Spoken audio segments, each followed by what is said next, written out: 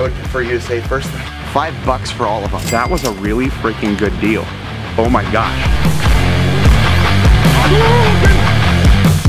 The next thing that happened is the kind of thing I could be done right now and I'd be happy. This is this is shaping up really well. I stress and repeat, did not try to get it out from under him. filled with the coolest retro toys and knickknacks and collectibles and oddities. Oh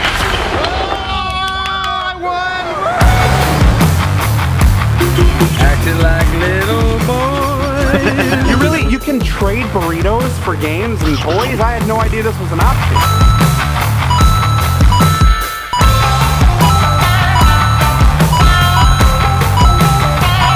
He was walking around looking like a roasted boiled tomato. I did the unthinkable.